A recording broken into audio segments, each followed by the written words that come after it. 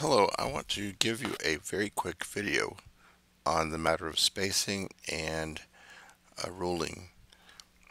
For those doing APA specifically, there's a rule for the amount of space and that would be on a research document double spaced. This is a one and a half and the distance between this line and the beginning of the next paragraph I have discovered is often in the documents that I receive, there's an additional space. This is a occurrence of Microsoft Word, and not everybody seems to know how to fix it.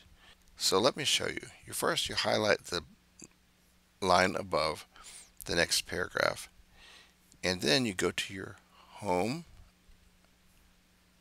and then you have lines right here this little item here is very helpful.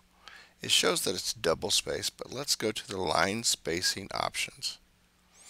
The line spacing options say that there's zero points above, but it's a double spaced. There are, however, eight points of space after, so it's a double space plus eight points distance. So we want to bring that down to zero. I hit OK, and now we have the amount of space we, that we need. When you're going to a new paragraph, extra space is uh, undesirable. Right here, I can do the same thing to make sure it's a double space. It's one and a half. There, it adds the double to all since they are all in one paragraph.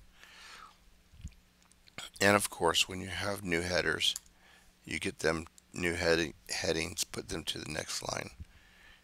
And again, the matter of double space. And then when you add a double space here, we will see that there's going to be, yet again, Microsoft Word added a additional space. So we want to go again to line space option and change it to a zero. So there's zero spaces after what I highlighted.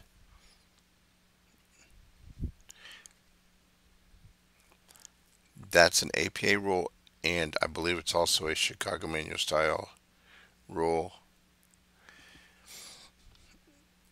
However, I'm not too sure of the ruling for uh, Turabian and if it's specific to the distance between I highly suspect they are um, consistent on that specific rule of spacing, that it is continuous throughout the whole document. However, since I cannot say for sure, I strongly advise that you seek the information um, by our favorite tool, Google, that will give an answer make sure that it's an up-to-date resource that you use that finds that supplies you this information. Okay, so this is a very short video, but it does give you some answers and some help.